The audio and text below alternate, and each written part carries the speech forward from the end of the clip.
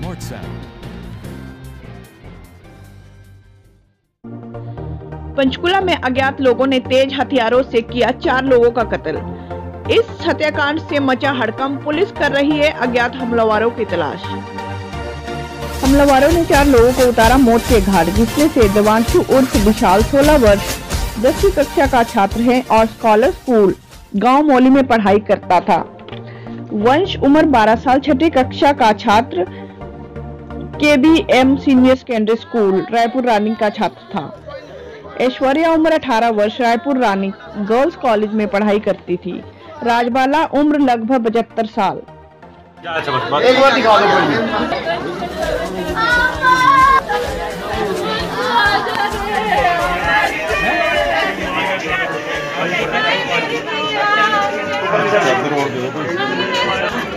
छत्रपाल छत्र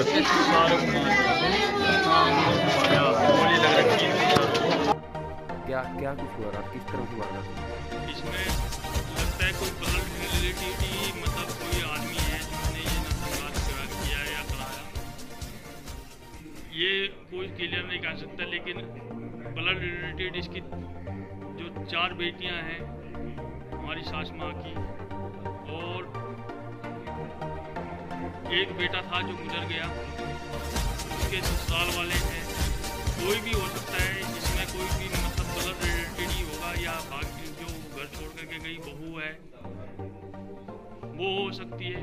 कितने लोगों की मौत हुई? इसमें एक मेरी सासू माँ है दो लड़के हैं एक लड़की है सत्रह साल की। ये इनको बिल्कुल खत्म कर दिया। और एक बच्ची बची है जो हमारे पास में है। वो क्लास छः में पढ़ती है वहाँ पर। जीरकपुर में तो वारदात का आप लोगों को कैसे पता चला? किस समय? वारदात का मुझे तो पड़ोसियों ने मतलब पड़ोस की लेडीज़ ने मेरी मम्मी से इसके फ़ोन पे फ़ोन कर करके बता रही थी कोई दरवाज़ा नहीं खोला क्या बात है? तो मामा जी रहते हैं इनके यहाँ पर हमारे मामा वो भी खेत में गए हुए थे।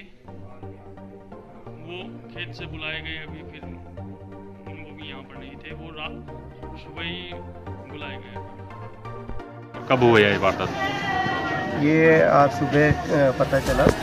तो अभी तक इनिशियली टाइम सिंह देखने से पता चल रहा है। तो ये कल अराउंड नौ दस बजे के बाद की वारदात है जिसमें एक तीन बच्चे हैं और एक उनकी अ, दादी है। जी। इनको फायर आर्म इंजरीज है तो किसी ने हथियार से इनको गोली मारी।